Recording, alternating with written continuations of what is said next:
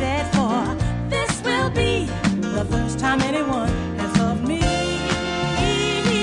Oh, I'm so glad he found me in time, and I'm so